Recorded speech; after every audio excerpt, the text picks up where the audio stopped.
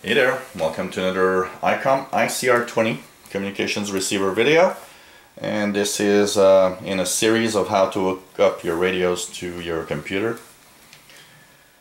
Okay, you've seen the first video maybe about what you need to hook up. Maybe you've seen the second video showing you how to actually hook it up. Now comes the part of how to set up properly and know the information you need for your computer to talk with your radio. Um, many times when people uh, hook up their radios, they uh, have doesn't work.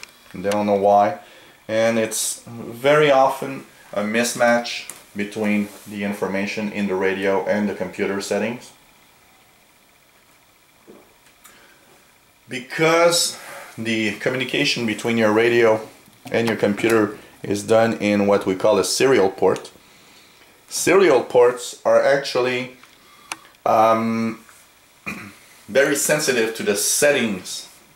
Both the radio and the computer needs to have the same type of information, the same speed, and you do need some information to make this work well on the CIV uh, connector of your uh. So first thing you need to know, and you'll need a piece of paper and a pen because you'll need some information that will be uh, very important when you start installing uh, control radio control software on your computer. First thing you'll need to know is what's the COM port of my computer. And so I'll show you here on my computer how to uh, get that info. Um, it might be a little different on yours, but basically you need to go to the control panel. If you already know how to go to the control panel, you're halfway there. Uh, if you don't know where the control panel is on your computer, then I'll show you how I go to mine, but you might need to have find it a little more on, depending on the system you have. So what I do is I click on the start button and I go, I have control panel available right here. I just click on it. In my control panel, I actually go to System. And there's device manager. That's what you need to have is the device manager right here. The device manager is the place where you've got all your computer hardware information. What you need to do is find the little section called ports COM and LPT and at the left of it there's a little arrow you'll click and here you can see it tells me prolific USB to serial COM port and it says COM4. That's the information I want. And that's what you need to find out. COM, what COM port is your computer using? Uh, mine's COM4, yours could be COM2, 3, 4, 5, 6, 1. Uh, it depends on the setup of your computer and the way things are set up. Uh, if it's a, a, USB to serial like me or if it's a, a uh, native serial port that's already in your computer. So the first information you'll note on your piece of paper is the COM port. So in my case, I'll note COM4 for my information. Now, two other informations are needed. One is the speed at which your radio and your computer are going to talk together. The other one is what we call the CIV address, which is the address that needs to be used in the software to access your ICOM radio. Where do you get these two information? Well, you get it in your radio. What you'll need to do is press and hold the set key, which is number 8. And you'll need to go down, try to prove a little here. You'll need to go down to Okay, if you're at the top, for example here, you'll need to go down to CIV, which is at the bottom of the menu. One information, you, if you cannot go back down to CIV or you don't see it, make sure that in your set expand menu, you are on. If it's off, you cannot see the settings that we need to have. So put it at on to make sure you have all the settings available. Now, you go down to the address. Now, CIV address. A quick press on the number 8 or the set key. And it says 6C. CIV address 6C. You need to note that on your piece of paper. So now you should have your COM port and the CIV address of 6C for the radio. Now you'll get out of that menu by pressing the dual watch.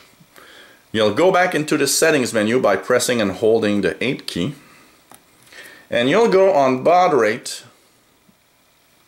Do a quick press for baud rate. I will uh, tell you there are some different baud rates here. Put it at 19,200 which is the fastest communication speed of the radio and leave it there. Don't put it on automatic. Sometimes it doesn't work. Automatic stuff on computers, sometimes they work well, sometimes they don't. And you don't want to have that, it does it work, does it, or it doesn't work, or I don't know exactly. You want to make sure settings are right. So just put your little arrow next to 19,200 bauds per second. And then you'll press the dual watch button uh, to get out of the menu and you're set up to install a piece of software now. Um, make sure that everything is alright. Uh, to set up your piece of software, we'll have a video for that with different pieces of software. But basically what you now have on your piece of paper is what is your COM port, in my case COM4, what is the CIV address for this radio, 6C. And finally, what is the baud rate? And you should have set the baud rate at 19,200 bauds per second. That's the first thing. Now, one little quirk that you need to work out on your computer is how to get the sound out of the radio into your computer. If you've watched on how to hook up your ICOM radio, you know that there's another extra cable that plugs in to the audio microphone jack of your computer. And to make sure that it works you'll have to go probably play into the settings of your audio on your computer.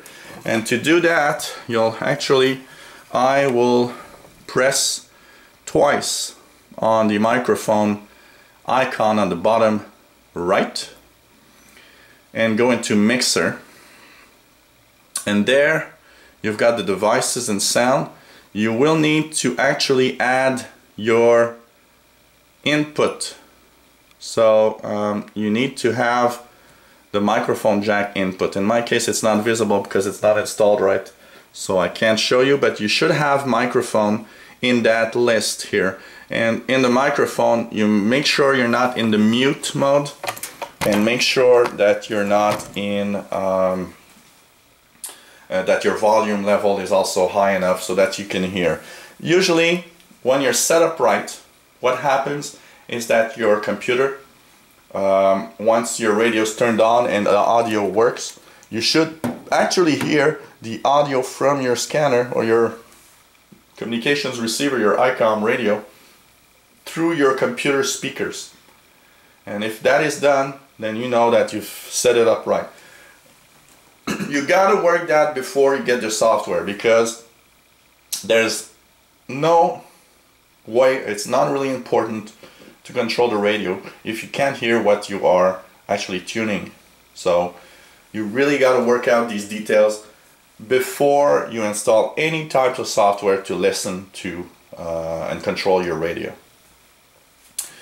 So hope you uh, enjoyed this video and uh, this is the way to hook up your ICOM radio. Now we'll go through the next part uh, which is software and controlling the radios. And hey, keep that piece of paper. You should have three little pieces of information there you should have your COM port, you should have your CIV address, and the 19,200 baud rate.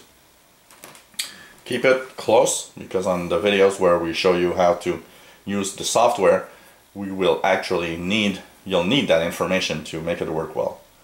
So, uh, hope you enjoyed these videos. If you have any comments, questions, let us know. We'll try to answer any questions. No stupid, there's no stupid questions, eh? Any question is welcome. If you're asking yourself a question, don't think that you're alone. Most of the, most of the time, lots of other people are actually uh, thinking about the same thing or asking the same question. So uh, hope you enjoyed this series of videos and 73.